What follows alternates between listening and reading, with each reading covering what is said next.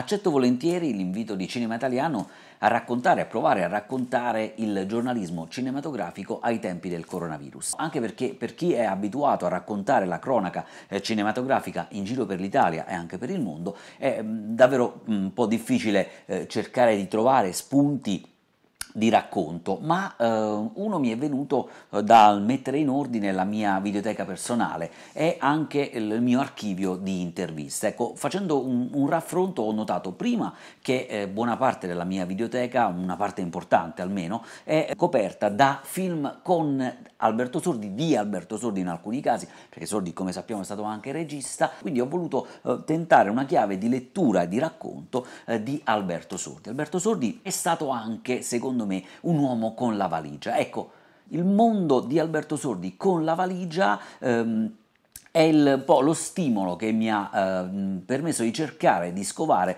tra le mie interviste un'intervista di dieci anni fa al critico Enrico Magrelli, che ringrazio ancora eh, per allora per quell'intervista in un mio documentario sul, sull'immigrazione italiana vista dal cinema italiano e anche oggi per poter raccontare il Sordi Emigrante. Sordi Emigrante che eh, lascio a lui l'onore di presentarvi così. I flussi possono portare con loro dei problemi il cinema a volte li racconta in chiave più seria, in chiave addirittura drammatica, i magliari o pane e cioccolata mi viene in mente. Ma tu dimmi se il padre non si diverte.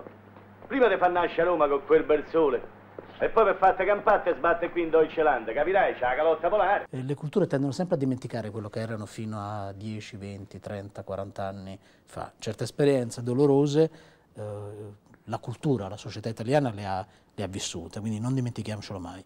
You have any walkie and the sacrifice. No beer, no coffee, no cigarettes to bring her from Italy.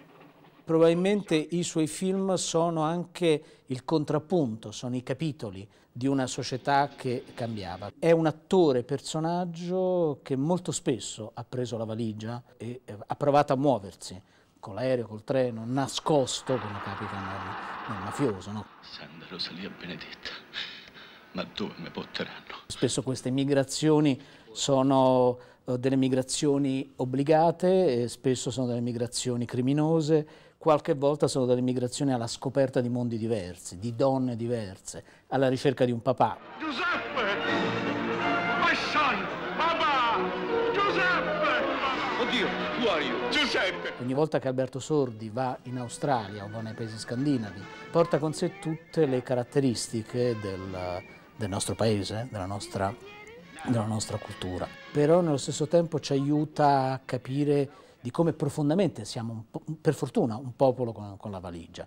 E grazie Enrico, grazie di averci raccontato così in maniera brillante eh, il Sordi con la valigia, il Sordi che emigra, che gira, che viaggia. Eh, secondo me è un modo particolare, non so se molti eh, ci avevano pensato, a un Sordi così, è un mio piccolo eh, umile suggerimento che eh, in qualche modo mh, permette seconde o terze visioni in questi giorni in cui si resta a casa, mi raccomando, restiamo tutti quanti a casa in attesa che tutto questo sia un ricordo lontano, ci siano film addirittura su questa vicenda triste e dolorosa che sicuramente però ci lasceremo alle spalle.